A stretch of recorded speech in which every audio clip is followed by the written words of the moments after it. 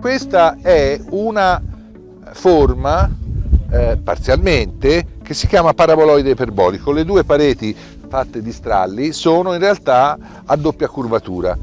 Una sezione è una parabola e una sezione è l'iperbole.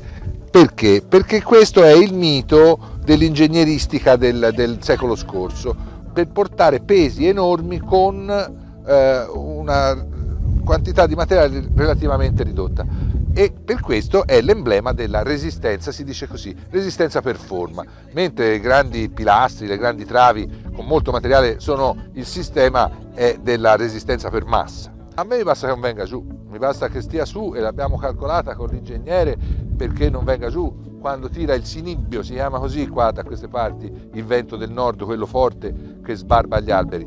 Dovendo celebrare la poesia, perché in questo punto i cipressi piantati da Amati individuavano proprio la sede dell'installazione dedicata alla poesia, io ho pensato che, eh, ripescandolo dai miei studi di architettura, il, il, simbolo della resistenza per forma è perfetto proprio per la poesia. La poesia usa poche parole per portare pesi enormi. L'opera che io ho realizzato a Celle si chiama Punto di Fuoco, è costituita da 30 piante di cipressi, sono parte dal dal concetto della fisica contemporanea, quindi quella dopo Einstein, che un fascio di rette si incontra all'infinito in un punto.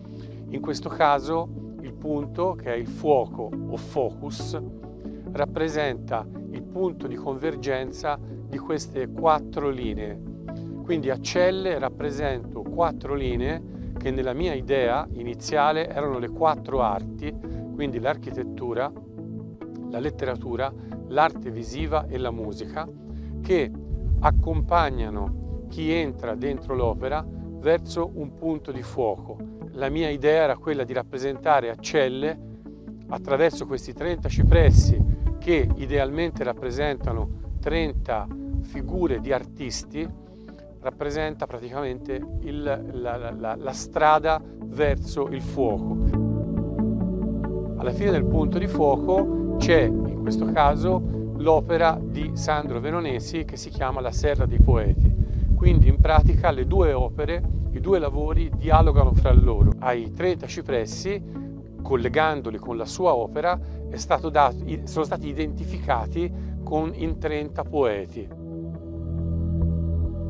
Questa opera che è nata oggi è nata, è l'ottantesima opera di arte ambientale.